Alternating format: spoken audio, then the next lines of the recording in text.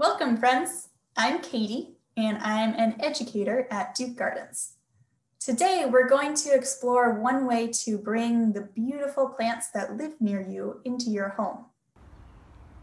Winter plants may not be as bright or full as they are in the summer, but they still have beautiful colors, shapes, and textures.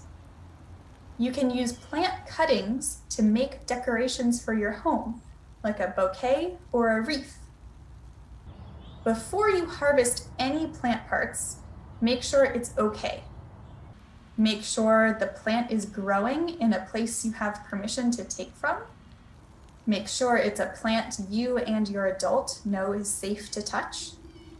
And make sure the plant you're harvesting from has plenty of whatever parts you're taking from it. Or make sure there are plenty of other plants with the same parts nearby. That way you can be a good neighbor to the people, plants, and animals in your community. You can say thank you to the plants for giving you this present.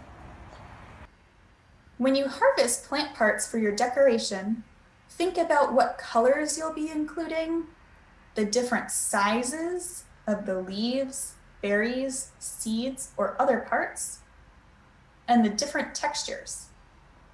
Do you want those all to be the same? Or do you want some variety? Then put your decoration together. You can use string or wire to attach branches together.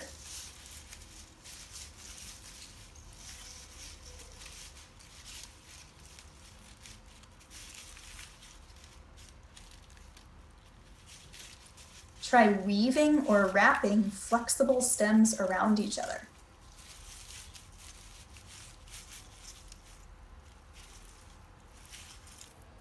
What can you create from your harvested plant parts?